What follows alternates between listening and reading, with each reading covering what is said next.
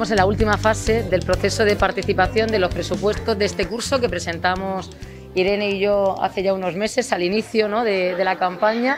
Como saben, es una apuesta del Gobierno del Ayuntamiento de Cartagena porque se haga este ensayo de democracia para que sean los propios coles que participan y sus alumnos los que puedan tomar decisiones en base al interés general de las mejoras que se pueden realizar en su centro.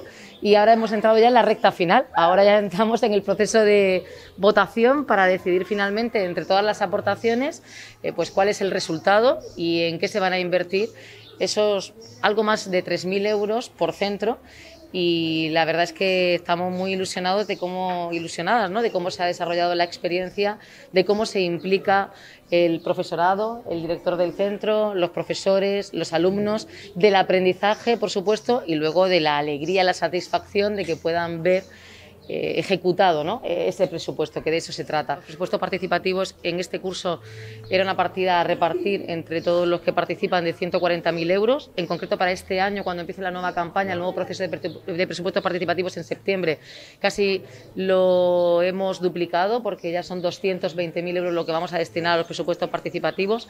Hemos pasado en tan solo tres cursos de una participación de 11 centros a 45 entre centros, institutos y un colegio también de educación especial y la verdad es que el balance que hacemos es muy positivo. Lleva mucho trabajo, eh, como bien saben, Rosa y el equipo de educación pues trabajan al detalle con, con, los directores de los centros, la comunidad educativa, para que todo sea un éxito, pero creo que es muy, muy importante la experiencia lo que se transmite en valores democráticos y también, por supuesto, la alegría de que los propios alumnos lo voten y lo puedan disfrutar. En concreto, en este centro ya han visto que son sistemas luminosos, megafonía, mesas de picnic, toboganes. Eh, bueno, siempre suele haber muchas aportaciones de determinadas infraestructuras que mejoran el centro de este tipo, de este alcance y también suele haber medidas de carácter tecnológico. Esta iniciativa que para nosotros es tan importante y sobre todo para los niños, que hace que sean partícipes un poco de, la gestión del centro,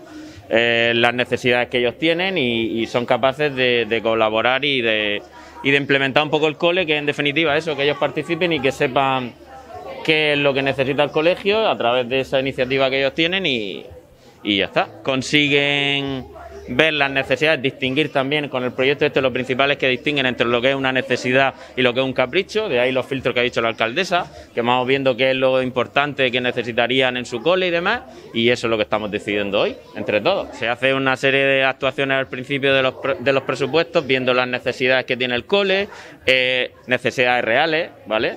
Y de ahí pues van a hacer su campaña y ven al final hoy las cuatro o cinco cosas que, que son realmente las que necesita el colegio.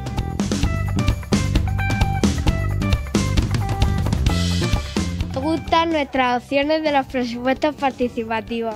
Yo creo que sí, pero de todas maneras lo importante es que la hayáis elegido vosotros y que salga al final el resultado que apoye la mayoría, porque al final estos son unos presupuestos participativos, os tiene que gustar a vosotros, es lo que habéis decidido vosotros.